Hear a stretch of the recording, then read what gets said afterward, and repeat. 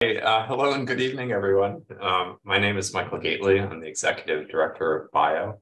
And it's my great pleasure to welcome you to this evening with Kitty Kelley, who will be in conversation with Heath Hardage Lee. Uh, Biographers International organization aims to promote the art and craft of biography, cultivate a diverse community of biographers, encourage public interest in biography, and provide educational and fellowship opportunities that support the work of biographers worldwide. Kitty Kelley needs little introduction, but I will give one anyway. Kitty is the internationally acclaimed author of best selling, unauthorized biographies of some of the most celebrated personalities of the last 50 years, including Jackie Kennedy Onassis, Elizabeth Taylor, Frank Sinatra, Nancy Reagan, the British Royals, the Bush family dynasty, and Oprah. Kitty is published in the American Scholar, the Washington Post, the New York Times, and many other outlets. She frequently contributes to the Washington Independent Review of Books. She's received its Lifetime Achievement Award. She's received awards from PEN for her work against censorship. She's debated at Oxford and lectured at Harvard. Kitty Kelley's work stands out for its scrupulous research and investigative reporting, speaking truths to and about the powerful. Her work is the outstanding example of unauthorized biography in our time, maybe all time. For many years as a bio member and a member of the board of directors, Kitty's been a generous supporter of our programs and fellowships, especially the Frances Frank Rollin Fellowship. We are thrilled to recognize her with the 2023 Bio Award for her contributions to biography as a genre and on a personal level for her warm encouragement of countless biographers. Actually, there is a count of biographers. Now 625 bio members, many of whom have received personal notes from Kitty, who is peerless as our membership director. Incidentally, in case anyone should later be tempted to deny having spoken with Kitty Kelley, these notes may serve as receipts. We very much look forward to presenting the Bio Award to Kitty in person at our annual conference in New York, which for the last two years has been hosted online. This May, we'll gather again with friends at the Leon Levy Center for Biography at the Graduate Center of the City University of New York for Biographers Weekend that is unequaled anywhere in the world. Kitty will give the keynote address on Saturday, May 20th. I'll put the link for the conference and registration in the chat box here on Zoom. Please note the price increase this Saturday, April 1st. This evening, Heath Hardage Lee will join Kitty for a conversation and then invite questions. Heath is an award winning historian, biographer, and curator who specializes in women's history, and she's served on BIO's board of directors. She's the author of Winnie Davis, Daughter of the Lost Cause, and The League of Wives, the untold story of the women who took on the US government to bring their husbands home. Heath's biography of First Lady Pat Nixon will be published next year by St. Martin's Press. Heath and Kitty will speak for about 45 minutes, after which there'll be time for questions from the audience please type your questions into the chat box. You're welcome to keep your video on, but please keep your audio on mute. We will be recording this event and expect to share the video within the next two weeks. I'm honored now to turn the evening's conversation over to Heath Lee and Kitty Kelley. Thank you so much, Michael. Wonderful introduction. And I am so thrilled to be here with one of my personal biographer idols. Kitty. Um, and I want to echo what Michael said about how warm and welcoming Kitty is to all biographers. And just a very short anecdote when I uh, first came to bio, gosh, many years ago, I think it was eight years ago, Kitty hosted a party at her beautiful house in Georgetown. And I was very nervous to meet her because I am a lifelong fan of hers attested to by my battered copy of Jackie O, which is like, you know, original, original first printing, and I is my favorite perhaps of all her books. But Kitty was so welcoming and warm, and I will never forget just feeling like I belonged at her house. Um, and that was a really nice feeling for someone very new to the profession um, and made me, of course, always enjoy being at bio events after. I always felt welcome, but that was largely thanks to um, Kitty and Jamie Morris also. So wanted to just say that.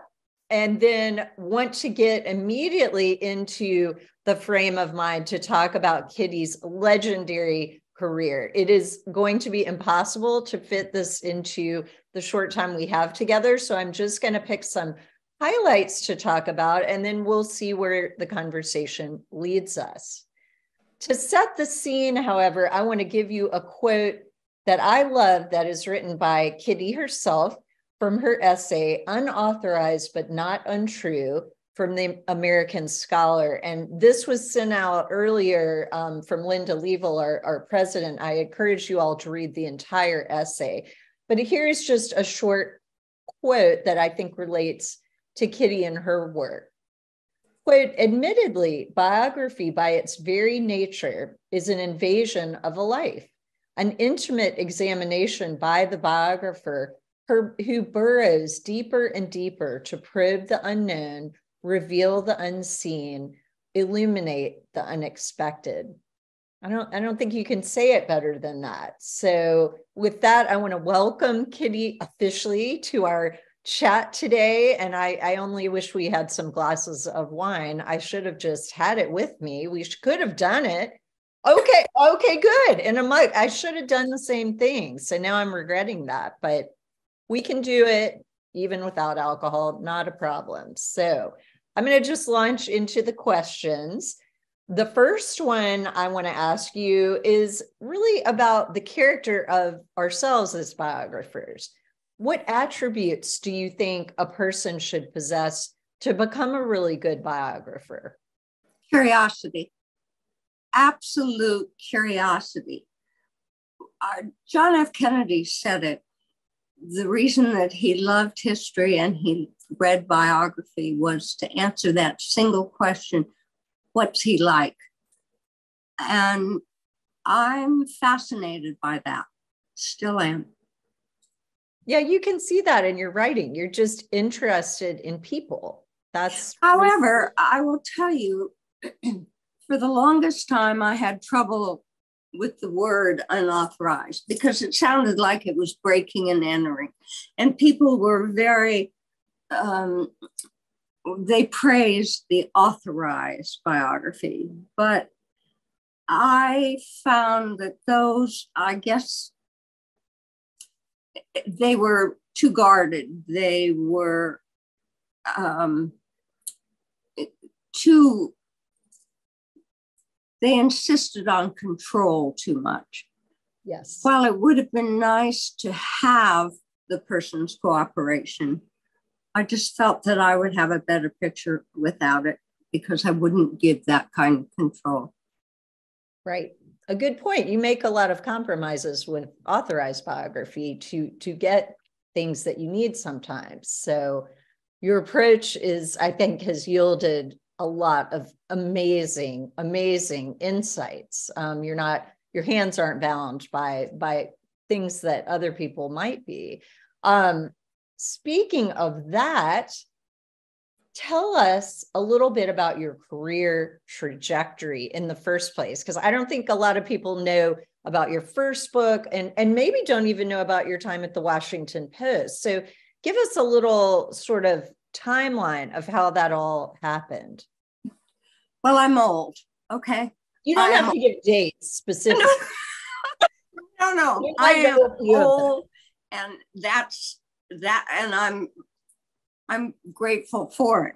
I did work at the Washington Post. I was on the editorial page as a researcher, and I guess the thing that really launched me was the day that the um, editor, shortly after hiring me, walked in and said that he had just read this fabulous piece in the front page of the style section by Myra MacPherson, and I give her full credit for starting my career because she had done a piece on Palm Sunday in Washington in the riot torn area. And the editor was just raving about it. And I said, Well, I, I was there.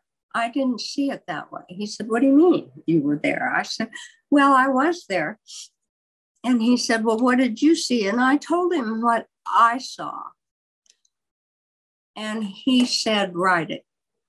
And I wrote it, and he published it in the Washington Post on the editorial page. And that kind of did it for me. I felt that I was blessed, as giving an unauthorized view.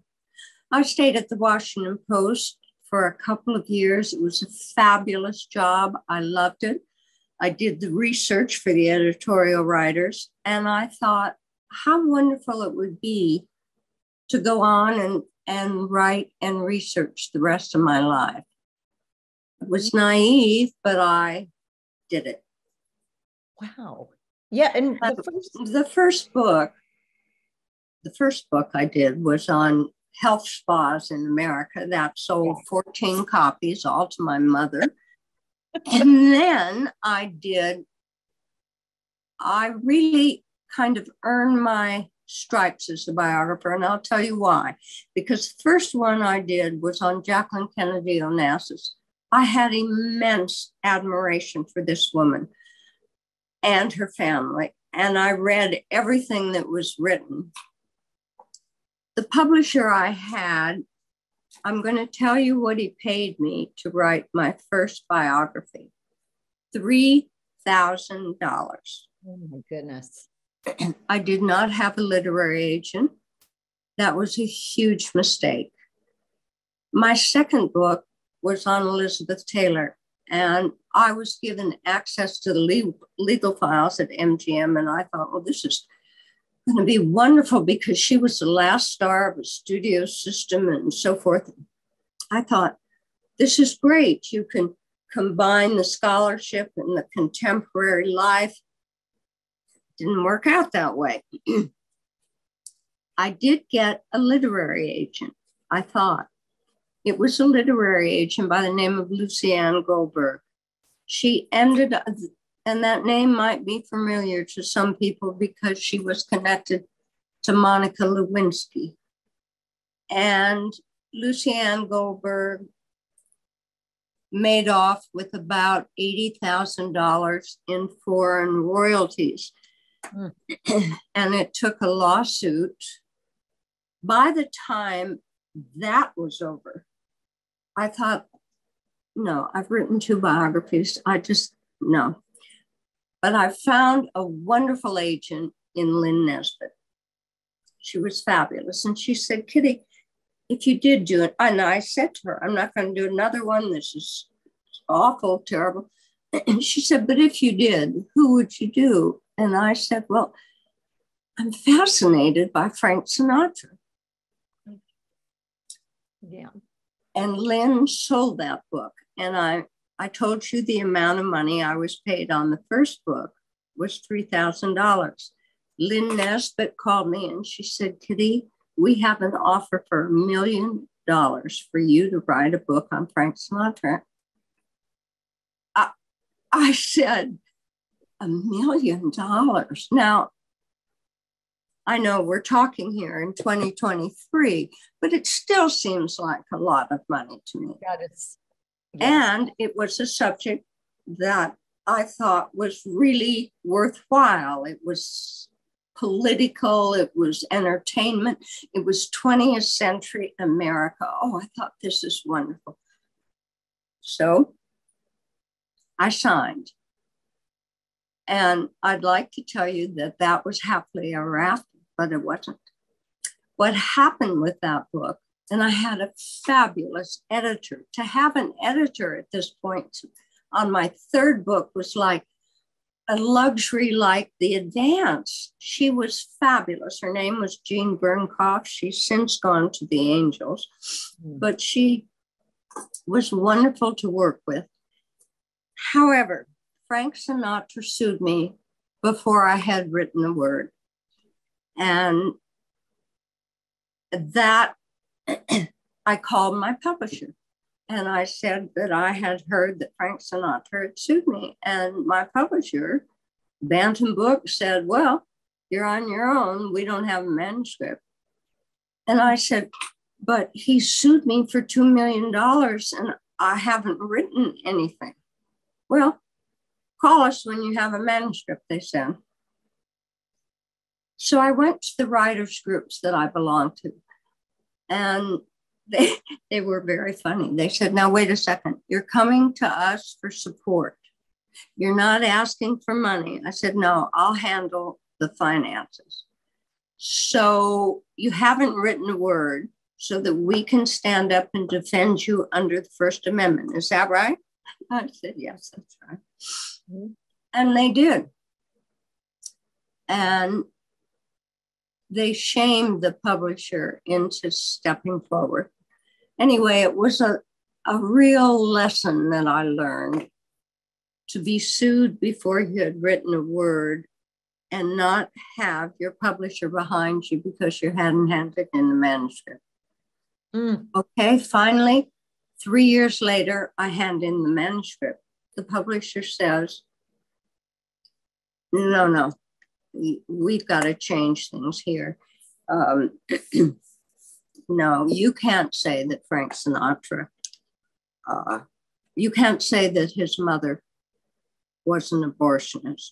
I said, but she was in Hoboken. Well, that's all right. You just call her a midwife. And so I found myself not just on that, but on they wanted to water everything down. They were so afraid of being sued by Frank Sinatra again. I said, Why? He's already done it.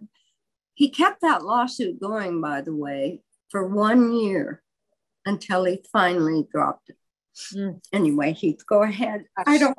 No, that's exactly the Frank is was one of my questions. Is so what did you mentally? How did you mentally cope with this for that long of a period because that is a long time to worry and be anxious. And and you know i think he was trying to intimidate you also as i recall. So you know something? At the point i was in new york doing research and at the point my husband called and said i just want you to know you've got to come home early because the lawyers are coming to washington and everyone is meeting they claim they have a tape recording of you calling Frank Sinatra and um, disguising yourself. I said, What? Yeah. Anyway, Monday morning, nine o'clock. So all the lawyers showed up at the house and they brought this tape recording. And I, I will tell you, I thought maybe I did it. Maybe and I said that to my husband, you know, maybe I just snapped my cap in the middle of the night or something. He said, You didn't do it. You're under pressure, blah, blah, blah, blah, blah. Anyway, they brought the tape recording, they put it on the table, and it sounded like Boy George um, with a balloon in his mouth, imitating and you could see the lawyers, even mine. I hired O'Melveny and Myers, and they're going like this. and so they thought I'd done it too. I thought I had done it too. Um, that's how praised you get when someone with that kind of power comes after you. Anyway, they knew that the tape was a fake, and finally, Sinatra agreed to drop his case, but he wanted me to apologize. And by that point, I was like, no, no, no excuse me. Mm-hmm. You sued, you caused us all this, you dropped the case. Right. And after a year, he did. Amazing. That's amazing. But the fortitude you showed there is is admirable because I, I think that many people would back down very quickly um, on someone. But then, you know, I had to fight my publisher because when the manuscript was handed in and it proved that Frank Sinatra lied under oath, that he had done this, that he had done that, he had been arrested, they were frightened. Yep. Yeah. I think we see that today with publishers. They can be, you know, it's not, I don't know that it's changed all that much sometimes. So good for you for standing up. But I do want to go back to what you were saying about agents and that bad experience you had. So you had the very bad experience with one agent, but then a really excellent experience with this other agent. So in terms and and then you had a wonderful editor and that makes such a difference I think to everyone. But what advice do you have for biographers in terms of agents and and the way you use them and figure out if they're a good fit? Well, I think they show you that. I mean, I'd still be with Lynn Nesbit today, but she left ICM and started her own agency. And she did it at a time when the book, the book that I had contracted for was with ICM. And so I stayed with ICM and I stayed with their lawyer, Wayne Kabak, who's been absolutely fabulous. Um,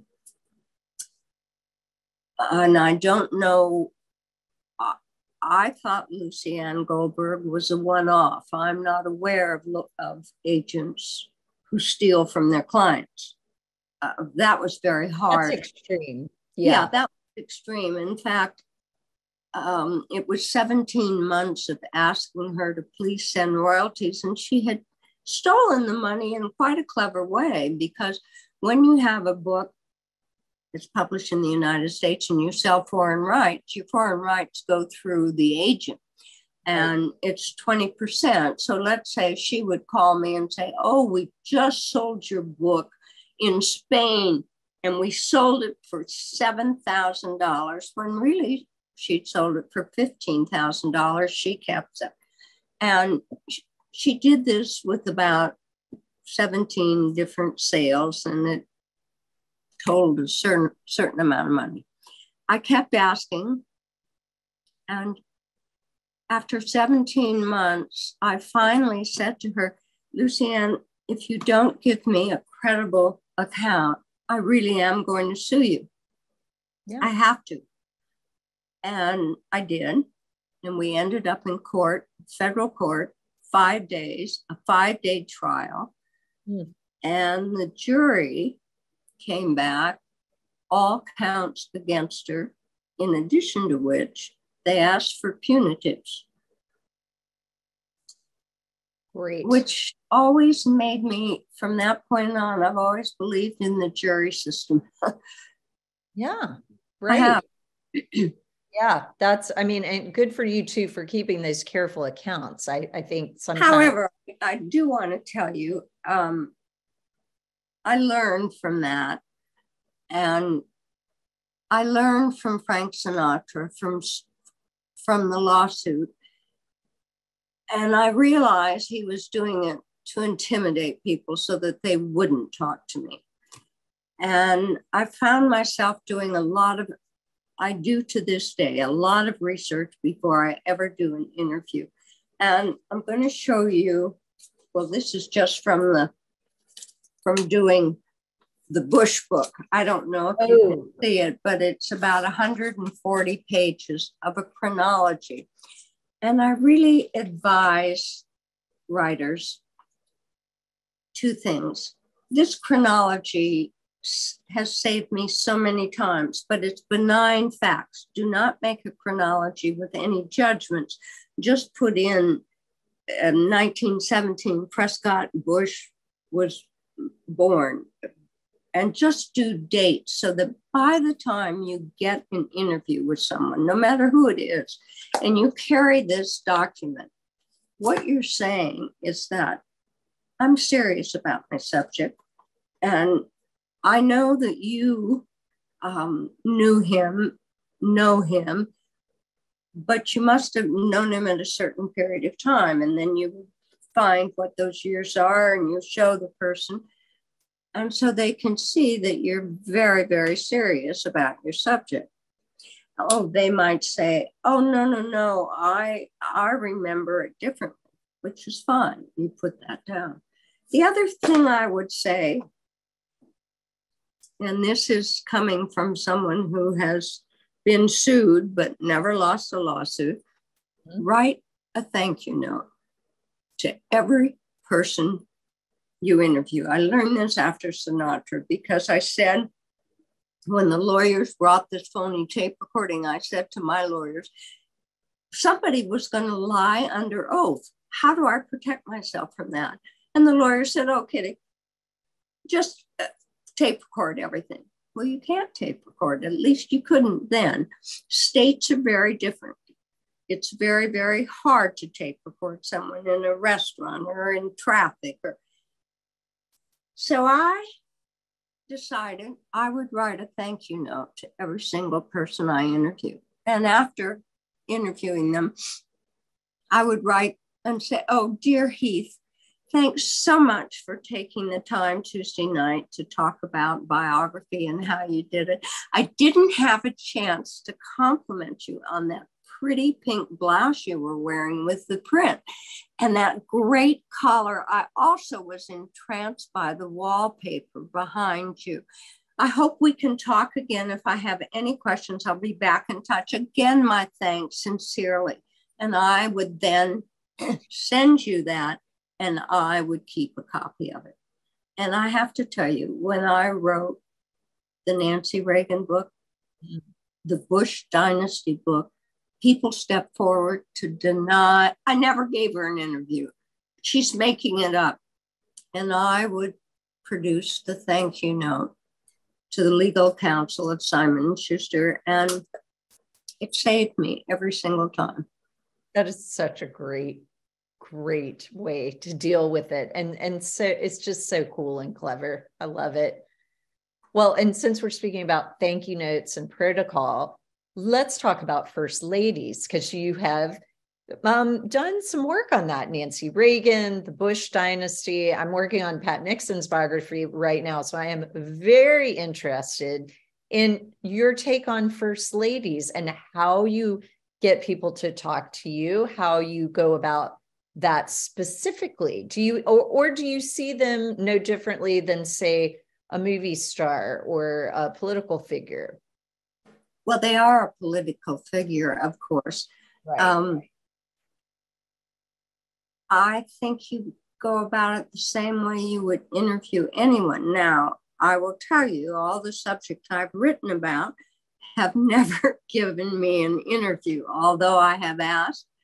I began every single book I wrote by writing to the subject as a matter of courtesy to say who I was and what I was doing, and that I hoped that they would give me an interview. And I tried many times many times. And I would send questions to them. And I just got stonewalled at every turn, but that's okay. That doesn't answer your question, though, Heath. Um, did you go to their staff but you certainly got people on record that had worked for them and you know absolutely payments. you go to you go to staff you go to political appointees, you go to members of the president's staff. Uh, uh, when I wrote Nancy Reagan, I think I had 800 interviews. Now, this doesn't mean, this means if I had 800 interviews, I probably had 1,600 that said no. Mm-hmm. In fact, it got so scary for me at times um, that on the Frank Sinatra book, people were so frightened that I almost started to get frightened. Mm-hmm. And there were times that a wife might give me an interview and say, never, never tell my husband that I've done this, or vice versa. In fact, when I was writing The Royals, I interviewed Lady Elizabeth Longford, and she said, You just can't say anything. You can't ever tell anybody that we've had these talks. We met many times. She was charming. But one night I was at an art gallery opening, and she was there with her husband, and she came running over. Oh. And her husband, Lord Longford, said, How do you know this outrageous American writer? and she and then she forgot you know that she'd sworn me to secrecy and oh that's great. I like that story. Wow. And the royal I, I do believe in the thank you notes. It's not only a matter of courtesy but it also protects you and protects your publisher right Yeah, that's really obviously has been really important. So um, that's a very good tip. Well, and then the Royals, we've got to get to that too. So now, since you really were one of the first biographers to really cover the Royals in that way, in this breaking up these icons, you know, humanizing them. I'd love to know what you think now about all the Meghan and Harry stuff going on, the state of royalty now versus writing books about royalty now, for instance, versus when you first started to do it. I mean, yours was really groundbreaking in terms of, of covering that family. But it looks a little tame, doesn't it, next to Prince Harry's book? Prince Harry's book, yes, of course, very interesting. Um, but I, I, you know, yours is groundbreaking though because it is one of the first to to do that, and his you know, from his perspective. So, when I I say that I do write to the subjects ahead of time to say that I've been under contract to do this book and blah blah blah blah blah. In the case of the royals, the press secretary, although they don't call themselves that. They have a very highfalutin title at the at Buckingham Palace. This man kept writing me back and saying, "Now we do things differently here in the United Kingdom." And so we would appreciate your sending all of the questions that you'd like to ask and who you would like to interview, and we can proceed from there. And I wrote him back to say, mm, don't do it that way. But I would like to know such and such and so and so, and I don't understand this. And could you explain this? So he sent me this 650 page royal encyclopedia to oh. explain titles and you know the whole thing of the royal family there's this huge chandelier and it's called the monarchy and from there, there are layers and layers and titles and titles. And after almost four years of researching that book, I walked away feeling like a red, white, and blue American. I lost all reverence, I guess, for royalty. Yeah. I really did. And I'm sure that anybody listening to us who has written a biography knows that you you study the subject so carefully that you start taking on some of the characteristics. I mean, after writing about Jacqueline Kennedy Onassis, I dressed better. After writing about Elizabeth Taylor, well, mm-hmm. I got divorced. you got writing, jewelry though. What? You have you got good jewelry. You have wonderful taste in jewelry. So you've learned that from Liz Taylor. Right. After Frank Sinatra, I love the color orange. It was his favorite color. And you know something? Interesting. I still love his singing. Yeah. Yep. It's good you can separate that. I think a lot of people wouldn't be able to. Uh, when Jonathan Yardley reviewed my book for the Washington Post on Sinatra, he gave it high praise and said that he could never listen to his music again. I can. Excuse me. Wow. Well, so many things to get to. I'm going to just ask a couple more questions and then I want to get to the audience questions because they are piling up as I knew they would. So I want to get to those as many as I can of those as well. Um, I do want to ask you what attracts you to your subjects? Like, what do they have to have? You've given a, a little insight about that already, but what does it have to have to make you sign that contract? On the books I've done, I've truly believed that these people had an influence on our society in some way they are not just celebrities. They are not, they are more than that. They've influenced our lives politically, socially, in so many ways. And they spoke to that particular century. I'm mostly 20th century, early 21st century. And I felt that they were a totem of our society and that I have to feel this way because it was three or four years of my life. It was like a college education in these people. So I really did believe in them. Right. So I get a little squiffy if I'm described as a celebrity biographer. Right. Yeah, that's that's reductive, and yeah, I, and I do think what you're saying about the three to four years, it's almost like you're married to the subject for a short time, a short marriage. But, you know, nonetheless, it's such a deep dive.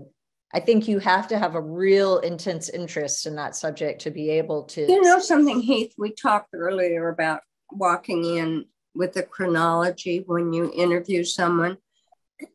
and I recommend this for all writers because it'll help you in writing the book. But when you go in to interview someone and you present them with 150 pages on the life of your subject, they see that you have taken this seriously. It is like a master's thesis. I know it sounds crazy, yeah. but that's what it is. And when they see that you take the subject so seriously, then they take it seriously too and give you about the best interview you can get. Yeah, that's great advice. They know you're serious and they know you've done your homework, um, which you clearly have. And then along those lines, your research is so intense. You do hundreds hundreds of interviews. You have these chronologies and fact sheets that you've got everything on them. How do you keep this straight? Like, what's your system for keeping all this straight? I um I divide the files into three major categories. The first one, names. And so one section of the room is an alphabetical files of names. The second, dates. I will have a date for every month and year of the person's life. The next file, and I'm sure that if someone can improve on this, I'd appreciate it. I do subjects. In other words, if you're interviewing someone, uh, the subjects would go NR colon, Nancy Reagan colon, uh, birthday parties, uh, Nancy Reagan clothes divided into years, philosophers, an uh, absolute alphabetical list of subjects pertaining to the person you're writing about. So I have three different sections names, dates, and subjects. That was the only way I could think to organize it because I might be writing about the person in 1936 and I could go to the 1936 files and they would mention something else, and then I could go to the subject files. Right. The, so I keep those three major files, but I am open to refined advice from anybody.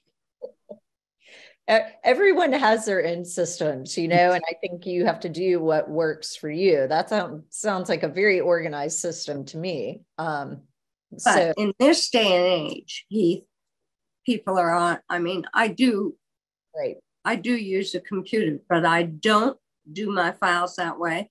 And I got so um, careful, especially on Frank Sinatra, that I kept dupes, files in one place and files in another place.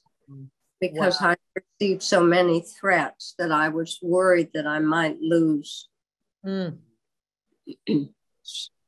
yeah, that's biography under duress. I mean, that's a whole other panel discussion.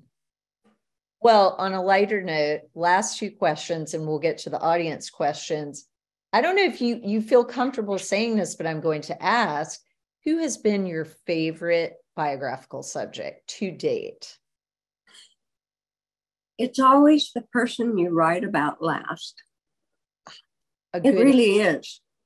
Um, always. Yeah. Because after each one, you think, oh, please God, I'm not going to do this again. I don't care. I don't care what they offer. I'm saying no. Mm-mm. And so the fact that you've survived the next one seems to be the favorite. Now, my husband said that of all the books I've written, his favorite was the Sinatra book. Mm, But I think that had to do with the male connection. right. That makes sense. Yeah, it would be hard to pick just one um, for sure, because you've written so many fantastic ones. My least favorite, I will tell you, was Elizabeth Taylor. Oh, really? Okay, why was that the Couldn't least? stand it. I mean, Huh. Was it I have to write about my biographies, what I've written, you'll notice that maybe on the very last paragraph, I might fess up to having done it. I guess because I started out writing that book thinking I was really going to be doing a big biography about the studio system in Hollywood. And she was the last star of a studio system that was disappearing. But instead, I got overwhelmed with husbands and divorces and jewelry stores and hospitalizations. What a lot? Yeah. It took over the kind of, uh, I guess, inflated view I had starting out. Interesting. Yeah, I could see that. She's a that's a lot to cover for sure. Well, and last question, is there anyone out there that you would consider doing a biography of currently? Anyone that's really interesting to you if you were going to do another one? Right this minute, I would say no. And please do not even suggest Donald Trump. Please don't. I know better than that. No. Okay.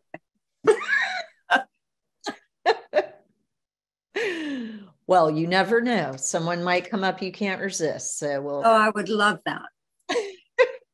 Well, let me get to the chat because we have so many questions here. So let me go to the chat and I'm going to go back to the first question, which is from Debbie Applegate.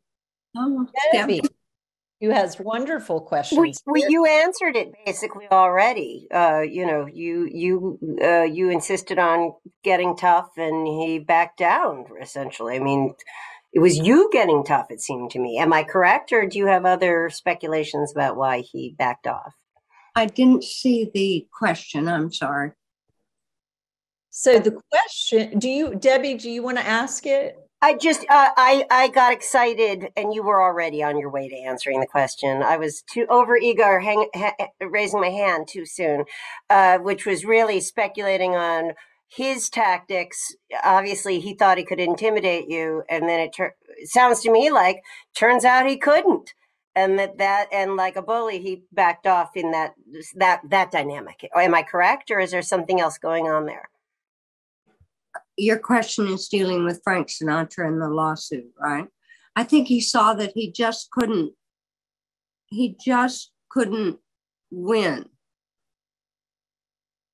And there was not a case there. He didn't have the evidence that he was putting forward.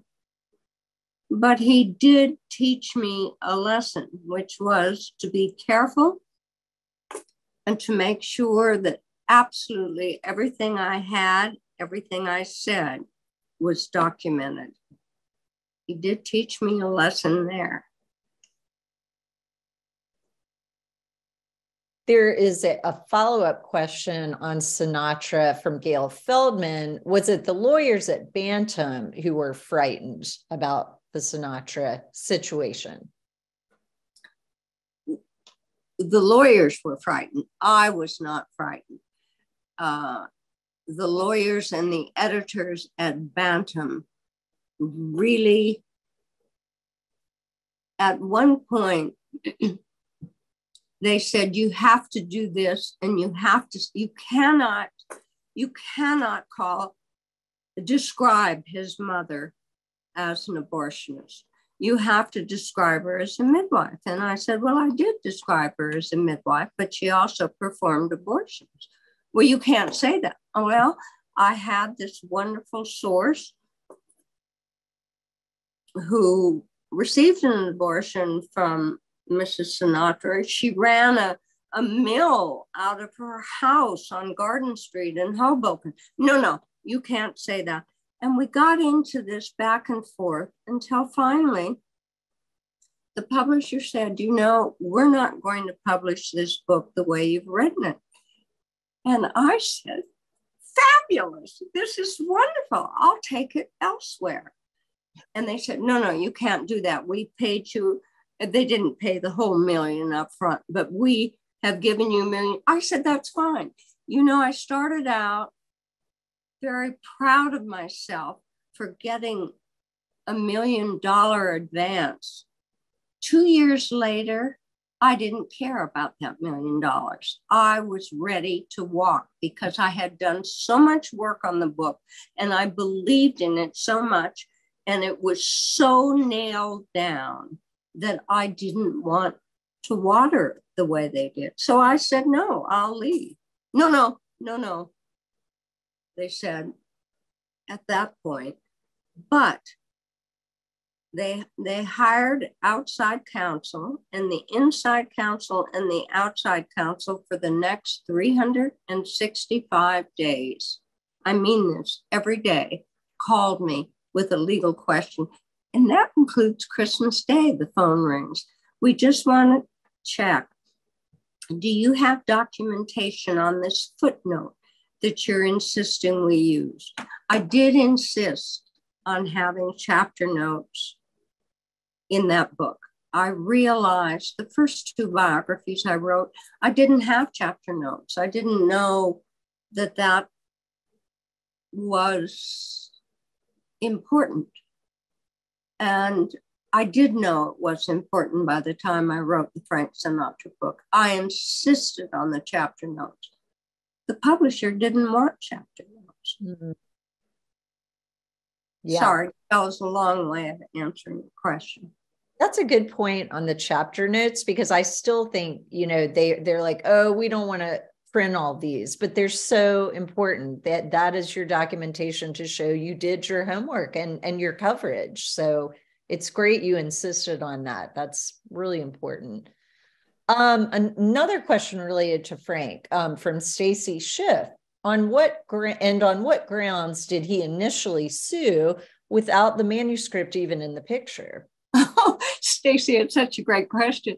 Um, he sued me in Los Angeles under a used car salesman statute that was so bizarre and locally uh, pivoted that that none of us could wrap ourselves around it. It was a used car salesman statue.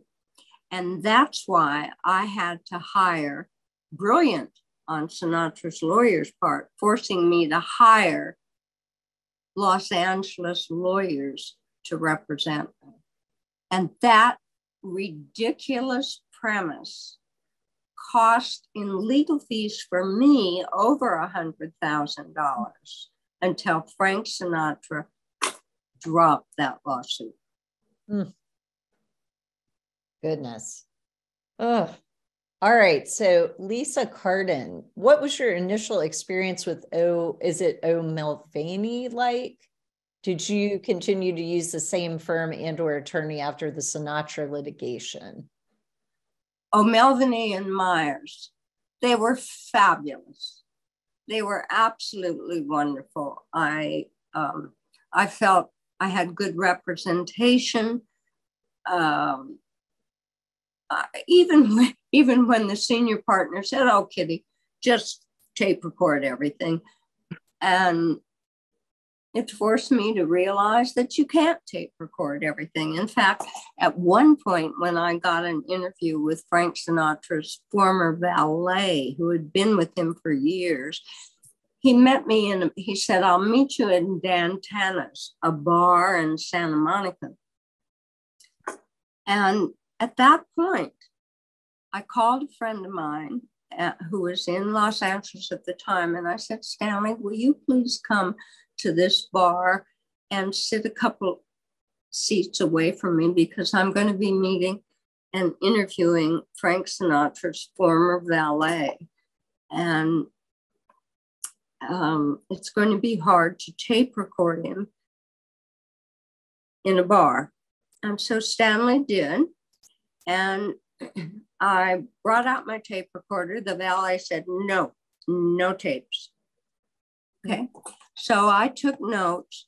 And at one point, I had walked in, it was a late afternoon interview, and I had the Los Angeles Examiner in my hand, and he was telling me how he used to sign Frank Sinatra's name. And I gave him the paper and said, Show me how you show me his signature because I know his signature.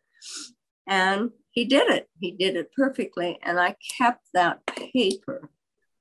And I also had Stanley as a witness to that interview when he tried to deny it. Oh, oh I love that. Long way of saying that you become a bit paranoid in protecting yourself. Right. Maybe not so paranoid. Um, that was smart. All right, Lori Shapiro has a question. This this is a, a great question, something I would like to know as well. If you have someone who early on said no to an interview, do you give them a second chance towards the end of the book and say, I'm going to print? Or do you say try once and it's done? Oh no, I try over and over and over. I can't tell you, Lori. I um when I did Jackie O, I very much wanted to interview Senator George Smathers, who had been JFK's best friend. He'd been a groomsman in the wedding. And he turned me down nine times. And this, his secretary, he was then a lawyer in Washington, he retired from the Senate. And his secretary felt so sorry for me. I was so pathetic. She said, he doesn't want to talk. He's never talked about Kennedy. What question do you have? Just one question. And I said, I'd like to ask him about the 1956 vice presidential race when Kennedy didn't get, he wasn't on the ticket, and he went to the south of France with George Smathers, and Jackie was pregnant at the time. I just want, that's my only question. She said, All right. She set up the interview finally after nine times, letters and phone calls. George Smathers gave me an interview. And the secretary said, Do you want it over lunch? Or do you want it at the end of the day? And that became the hardest question of my day, which was do you go do you go to lunch with the guy and take notes or do you do it at the end of the day when he's tired and might be cranky. I did. Finally, I said, I'll, I'll, do the end of the day. I went into his office at five o'clock. I didn't get home until 8:30 that evening. And at one point, Senator Smathers said, you know, Jack was really something. Senator Smathers was from Florida and he had a bit of a Southern accent. He said, I love the guy, but you know, he just was a lousy lover. Really, he'd get, he's like a rooster. He'd get on top of her, just getting on top of a hen real fast and fluffing her feathers. I was so taken aback that I said, excuse me, Senator, but with all due respect, how can you say something like that unless you were in the room with him? Well, of course I was in the room with him. Jack loved doing it, having people around. After that, I kept my mouth shut. and when the book came out and Senator Smathers was quoted at length, on the colorful things he said. A reporter from the Washington Post called him, fully expecting that he would deny it. And Senator Smathers admitted everything he said. And he said, I guess I was just run over by a dumb looking blonde. wow. Well, the question, but wow.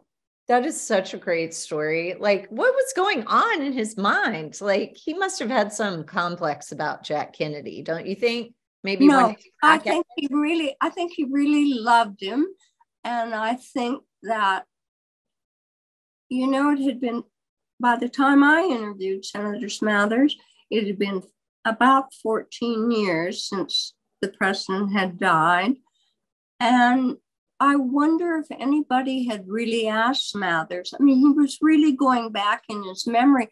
Mm. These two men who were married and in the United States Senate rented a house together simply to entertain other women. Uh, yeah. It was quite extraordinary for its time, and it was also extraordinary for Smathers to speak so openly. And I'm very grateful that he told the truth because it would have been very easy for him to say, I never said those things. Right, right. Mm, love that story. All right. New question. Felicity Yost. Has anyone come to you and asked you to write their biography?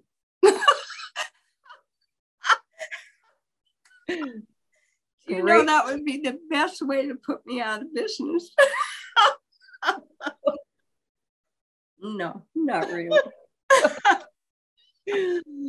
All right. Well, we'll move on. So, James Work Workinger, to, um, will your papers and recordings someday be deposited somewhere where future researchers and the public will have access?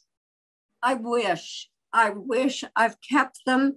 I don't know who would um, ever be interested. But as you can see from these 100 page chronologies, I do have immense files and I've kept them in storage. And they would be, I don't know, a treasure to someone, maybe just people like us. yes. Yes, I mean they would be. I yeah, I think we need to start the bidding. I mean, you could definitely those those need to go somewhere where they can be used. So maybe we'll all think about that. All right, we don't have too much time left, but I'm going to try to do a few more questions. Um, let's see. Uh, let's see we and we we did kind of did this one before. Hi kitty which person did you most enjoy writing about?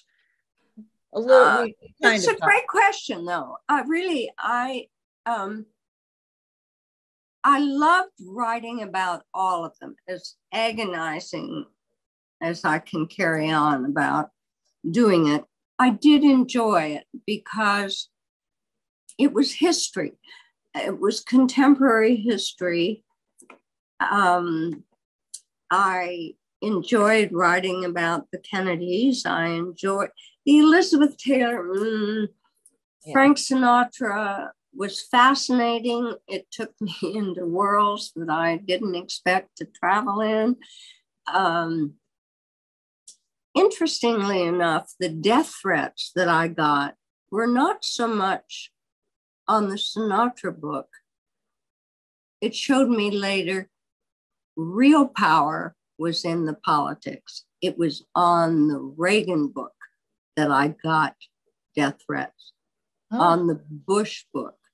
And that, the Frank Sinatra book, that's mafia, that's business.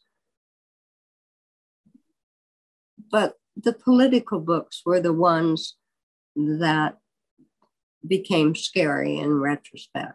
But I mm. really I enjoyed doing each one of them because broadened my horizons.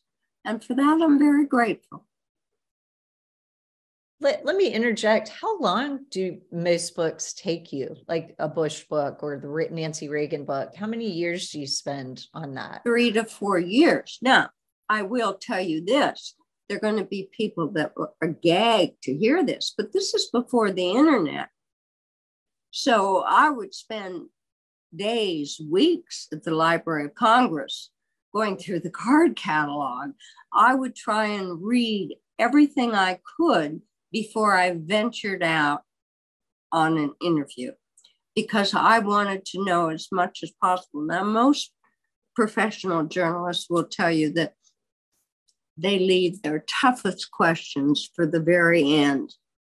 I start out that way because I'm afraid they're going to throw me out in the first 10 minutes. So I start out, you know, hi, Heath, it's so nice to meet you. How come you killed your husband?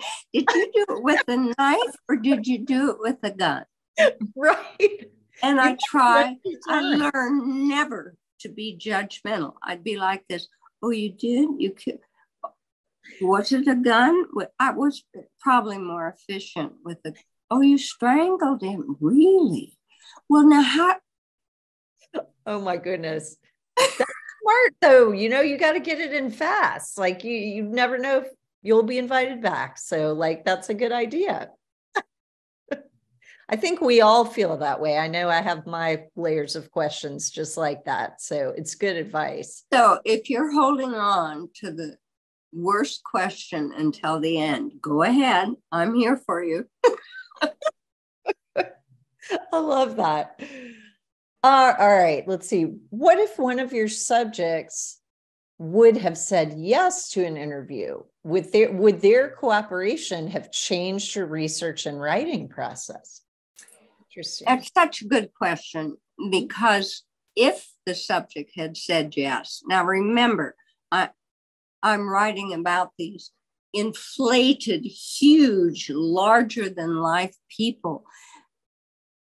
If they had said yes with no boundaries, that would have been fabulous.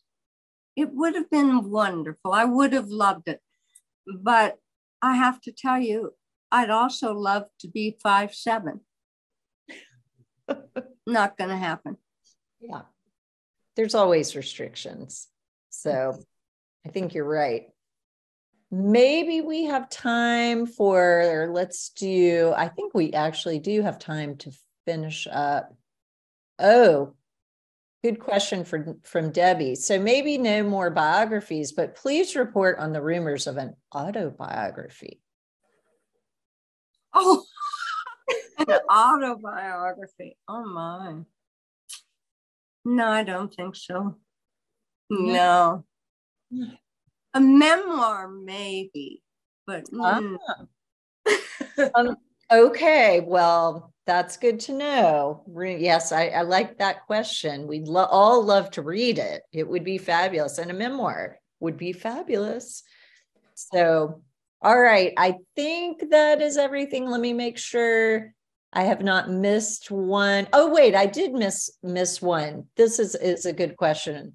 Okay. Have you ever used researchers before, or do you do all of it yourself?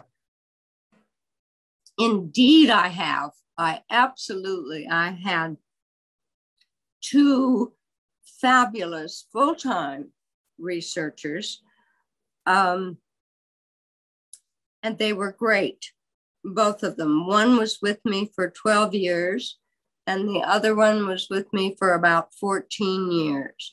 So they were really employees. And I I used them. I learned how to organize, to send them, please get this, please get that, see that you do this and both of them were terrific. Now, if there's anything more specific on that, um, I certainly will answer. But in that sense, I had, and I also had a fabulous researcher, a reporter, a journalist. She used to work for the Los Angeles Times, Pamela Warrick, and she went to interview the Reverend Donn Moomaw for me when I wrote the Reagan book. She was fabulous. So yes, I have I've had very good luck with researchers. Yeah, I think we can all use a little legwork help. It's a lot.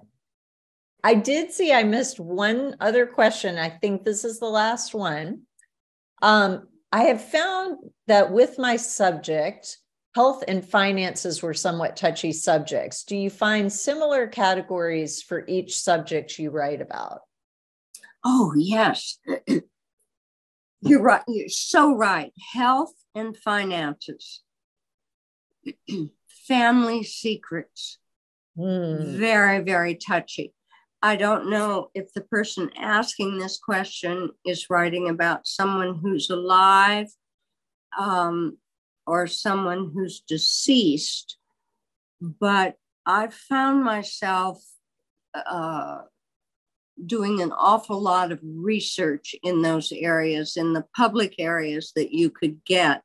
And especially when you're interviewing family, it's very tough because sometimes family don't they don't want to admit things that appear shameful so it's it's difficult I don't know quite how to answer that question. If you can be a little bit more specific, I'll try and help you. Yes, and I see that um, Edward O'Shea. Edward, do you have anything you want to add to that? No, but uh, these categories are, were very true for me in, in a book I just finished called Seamus Heaney's American Odyssey. And, uh, you know, there's a certain reticence that comes with being English and Irish, it seems to me, right? And I'm Irish myself uh, by you know uh, descendancy, but and so I find those same secrets, I suppose, in my own life. And uh, some of that, uh, my reservations were self-imposed about health because I thought there were a few things that I didn't want to write about. But finances was definitely something I was discouraged uh, from probing, and I had some interesting facts that I probably never did share in my book. That's so interesting because money, finances, defines us so much in this society. So it's difficult for a lot of people to talk about money and health too, because you don't want to admit your vulnerabilities or your frailties because you'll be judged on them. Uh, so it's very hard to work yourself around. I understand that. All right. I promise this is the last one. I saw one last one pop up and we'll wrap it up. From Abby Santa Maria. Kitty, tell us about being a young female biographer and an attractive one. Sexual harassment. You certainly had different challenges to navigate than your, your male counterparts. How did your age and gender sculpt your early career? I want to know, please. I'm so I'm Abby. Good question. When I was interviewing on the Frank Sinatra book, I got it. I wanted to interview one of the former FBI agents who'd been assigned to tail him and I finally found the FBI agent, and he agreed to meet me at a certain time in New York. And he said he'd be standing in front of the library and he would be wearing a black raincoat and so forth and so on. And so I came up, I saw this man standing there, and I deep down, I was terrified, but I walked up to him and I said, Ralph, I think his name was Ralph Salerno. He looked at me and he went, You're, you're the one everyone's afraid of? I said, May I see your identification? He said, Come on. And so I turned around to walk away. He went, whoa, whoa, hold on. What do you want? Driver's license? I said, no, I want to see your FBI identification. That was the first thing. So a few months later, I'm in Las Vegas and I had found a fabulous source. She was the mistress, the longtime mistress of mob boss Moe Dalitz. Mm-hmm. And so I thought, oh, this is wonderful. So I met her and we're sitting there talking, and we've been talking for about an hour and a half. And this man came over and he went, Seriously? You're the broad that, right? Are you serious? What? You? And Barbara turned to him. She said, Moe, sit down. And he sat down and he said, I said, You're Moe Dalitz. And he went, And you're Kitty Kelley. And I thought, No one's going to believe this. No one's going to believe that this is. And I said, How do I get people to talk to me? And he said, You have to just keep asking and asking. And he said, Besides, you look so stupid anyone will talk to you. Oh my gosh. Wow. So, mm. yes, it was an insult, but it was true. Mm. I do look stupid. No, definitely not true. Well, that is all of this is fascinating. It's such a glimpse into this world that we're all lucky to get to hear these stories, and they're so helpful to all of us. We cannot thank you enough. This whole conversation has been amazing, enlightening, scandalous in a delicious way. So it has just been wonderful. So thank you so much for spending this time with us and going over. Thank you all for these wonderful questions. They were great. And um, everyone is looking forward to New York and your big award and celebrating you in May. So thank you. And thank you, Michael, for running all of this and coordinating us.